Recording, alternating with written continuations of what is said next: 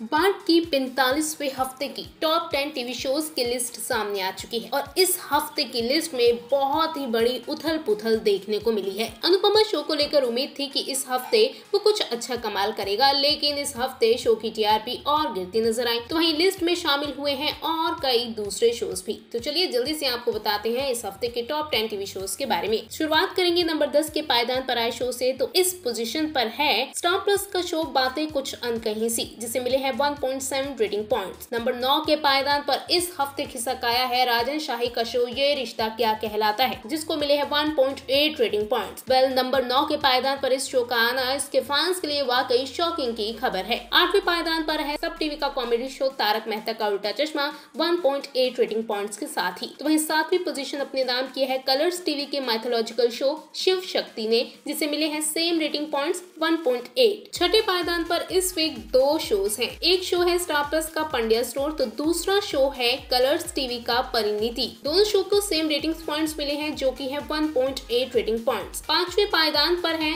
इस हफ़्ते Colors TV का controversial reality show Bigg Boss 17 1.9 rating points के साथ। वहीं चौथा पायदान अपने नाम किया है इस हफ़्ते अनुपमा शो ने, जिसको मिले हैं 1.9 रेटिंग पॉइंट्स नंबर तीन के पायदान पर आया है इमली शो विद 2.0 तो वहीं नंबर दो के पायदान पर है स्टार प्लस का शो तेरी मेरी डोरिया विद 2.0 रेटिंग पॉइंट्स के साथ। तो वहीं नंबर वन का खिताब एक बार फिर से अपने नाम किया है गुम है किसी के प्यार में शो ने with highest rating points show को मिले हैं इस वीक 2.3 रेटिंग पॉइंट्स वेल तो ये है वीक 45 की टॉप 10 टीवी शोज़ की रिपोर्ट।